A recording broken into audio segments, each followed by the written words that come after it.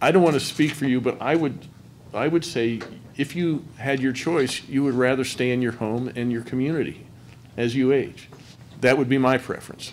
And so what we need to do at the state level is make sure we're doing everything to allow you to do that. One of the things we can do is bring together the different agencies in Harrisburg that are working to make that possible. We want to do it in a way that actually, where you look and say, you know, government for a change is actually trying to do what I want government to do. We do have good resources. We have really good people in Harrisburg.